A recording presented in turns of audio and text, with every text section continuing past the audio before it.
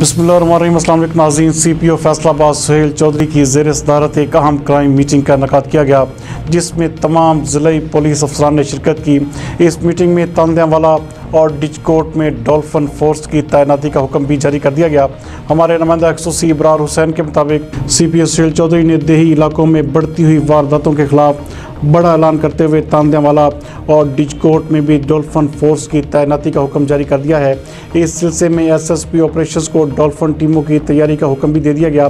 तांदियावाला में dolphin police force की दो टीमें आठ जवान फ्राई सर अंजाम देंगे, जबकि डिजकोट में एक टीम चार जवान फ्राई सर अंजाम देंगे। आइंदा चंद रोज़ में टीमें बाकायदा तौर पर तांदियावाला और डिजकोट में रवाना कर दी जाएँगी।